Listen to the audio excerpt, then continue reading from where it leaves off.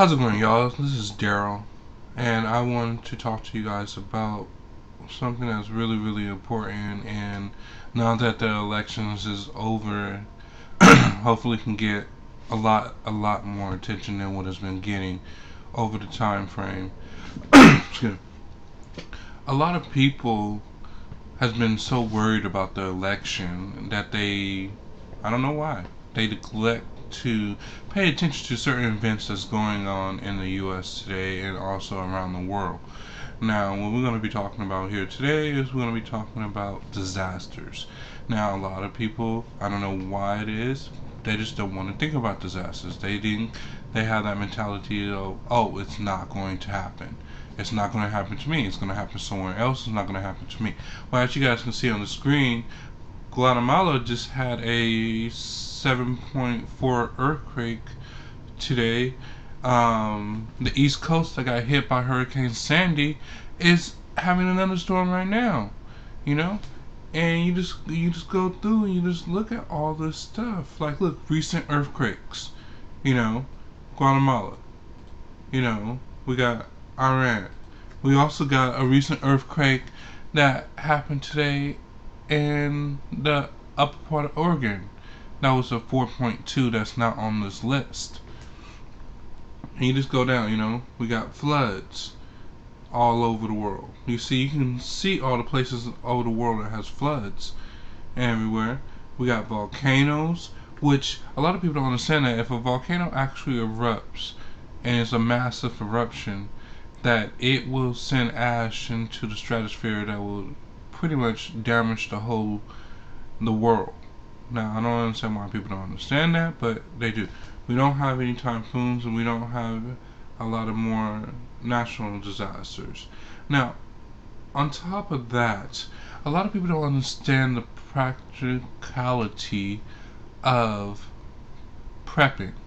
Now, what prepping is, they think, oh, you're crazy, you planning for something that's happening on somewhere else in the world and you don't understand and it's not to happen here. Actually, I got something I want you guys to understand. Okay, so now we're back on and we're looking here at Hurricane Sandy report. Now, I'm on American Prepper Network, and you guys can go ahead and see that, you know, just going through, going through the, the time frame that it hit, everything. You see the damage. We all see it on the news. Everything. But one thing I want to point out and a lot of people they have this mentality, and I seen it in Katrina when I got deployed right after Katrina hit. Now, what you're looking on the screen is actually the supermarkets. I think this one is Walmart. Now, a lot of people they don't want to prepare. They was like, "Oh, we got time to prepare, we don't. It's not going to happen to us." But as you guys can see here, this is exactly what people saw that went down to the local markets, Walmart, Safeway, if they have it out there. I don't think so. Some of the name. But something like Safeway. I'm on the West Coast, so we have Safeway here. But supermarkets like Safeway and everything. And you see that this is what people get there. Now, you understand that people are panicking. They don't have anything in the house. And they're not prepared for a disaster that's going to put them out for a week, two weeks, three weeks, a month, three months, six months, a year. You know, you never know. You can't always rely on federal government. Yeah, federal government responded this fast this time, but think back in Hurricane Katrina where it took almost a month for FEMA to get down there and take care of the people down there. And even then, they didn't even take care of the people down there. But you guys see right here. Look, empty.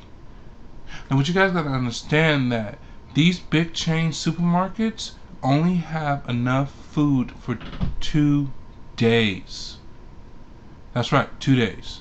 You know, you think they got, oh, they got a big warehouse in the back and everything. No, it's only stocked enough for two days. If you don't understand it, it's, it's supply and demand.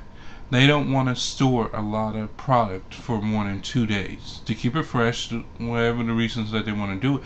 But it only takes two days. This was actually broadcast and reviewed back in Hurricane Katrina days when I was down there. And we went down there and we was just looking and everything was empty. All the warehouses, everything was empty.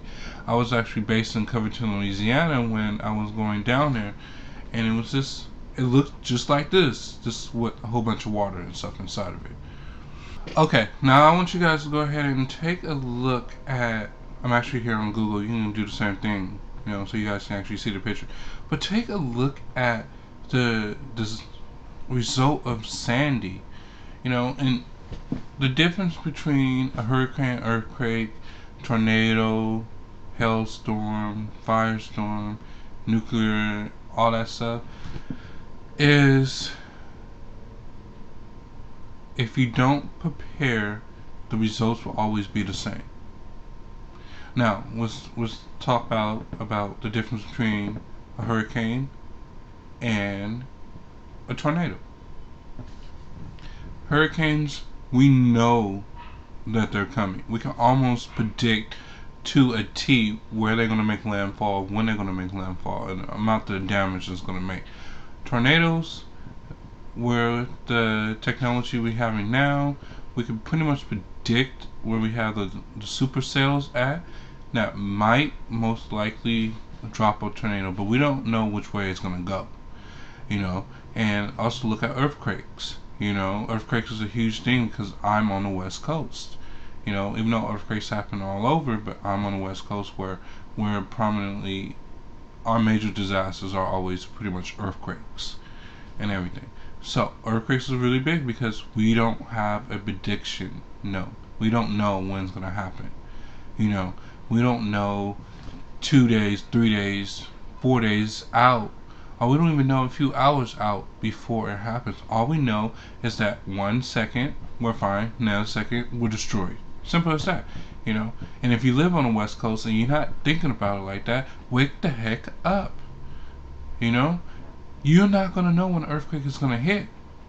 It's that simple.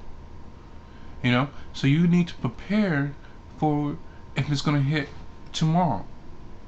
Now, a lot of people tell me, well, I don't have any money to prepare. Or a lot of people tell me, well, I don't know what exactly I need to do to prepare. You know, so what I want to do for you guys is I'm actually going to put down in my blog, which is going to be a link down below. It's going to give you guys a list of items that you should have for each person in your family. Now, a lot of people say, well, we have little kids, so they don't need all these items. I'm telling you, just do the list of items. It's really, really simple. If you're working, what you do is you take 10 or 20 dollars every paycheck and you go and buy. Or when you go make groceries or something, or you go and buy something, just pick up an extra item. You know, say like you're going to go to the doctor store uh, these medical stores that we have here. You guys can, I'm just going to do so you guys can just see the, the pictures and everything. Um, so that you can pretty much just pick up an item and store it somewhere. You know, they got these all these amazing websites and everything that you can go to and find these things. Um, but yeah, you guys can go ahead and check out my blog that I have on here. I don't want to talk for like an hour, two hours on this whole factor. You guys missed the point. The whole point is don't wait until it's too late. Now, that's what happened with Sandy, you know. And I'm sorry about the people that had that mentality of it's never going to happen and now they suffering on that I did. You know, I'm really, really sorry for all national disasters that happen in the U.S. and around the world. But one thing I need to stress the factor is it's not a question on if, it's a question when. We see it all over the world. You know, when we had those major firestorms in Colorado, when we had, you know, those major earthquakes, when we had Sandy, Katrina, Wilma, Ivan, all these hurricanes, when we had pretty much all these natural disasters, it's not a question. No one ever asks if this is going to happen. You know, it's always a question on when it's going to happen. Why do you think your federal government now and all these other places are telling you to prepare? You know, if you go on FEMA website and you go look at preparation, they tell you to build a kit. It's not that hard to have a kit. It takes maybe $30, $40 to build a kit per person. You know? And you don't have to build a kit all together. You can just get water first, get food, get light, things like batteries, or buy a generator. Like, that's what happens when Sandy hit and you see all these pictures on the websites of people running extension cords out and saying we have power charge. Do you really really think it's any different? No, they have generators. They they're preppers in a sense. They prepare for something that might happen, might never happen you know? But that mentality that they have is if versus when. If you have that if mentality you know you're never going to be prepared if a disaster happens. If you have that when mentality you're going to be prepared even if a disaster never happened that you prepared for but you still prepared for if something else happens you know? So thank you very much. Go ahead and check out my blog. Go ahead and subscribe to my channel go ahead and check out the other videos that I have and make sure you share this with people and also make sure that you read my blog because I actually got an article on there that's really really helpful. If you're on the east coast right now and affected by Sandy my condolences and stuff goes to you and everyone else on the east coast. I'm sorry for the guys lost if you lost anyone and I'm sorry for the damages that happened. You know well hopefully this is a wake up call, and you guys will start to prepare for when the next one's going to happen. All right. Thank you. Have a good day.